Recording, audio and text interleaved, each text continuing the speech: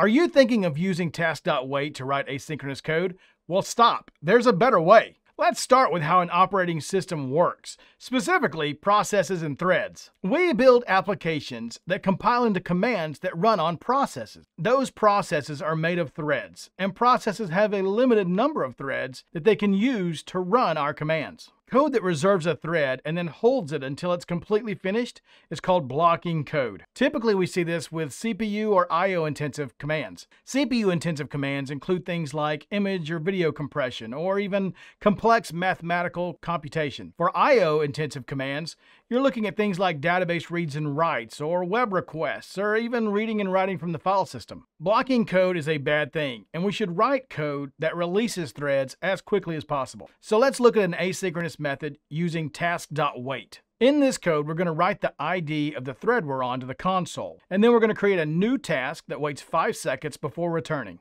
Then we're going to call the wait method on that task, and once it finishes running, we'll write the ID of the thread we're on to the console again. When we run this code, you can see that the thread we're on before we waited and after are the same. Is that a coincidence? Nope, because task.wait does not release the thread while it's waiting.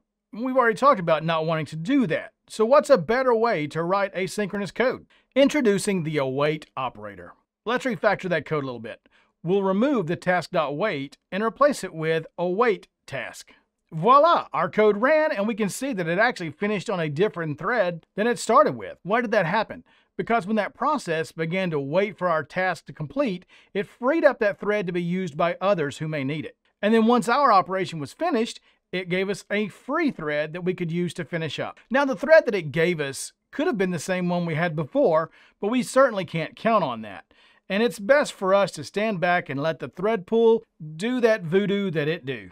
So there you have it. Unless you're getting way down in the weeds on threading, let's leave the task.wait alone and stick with the await operator. Until next time.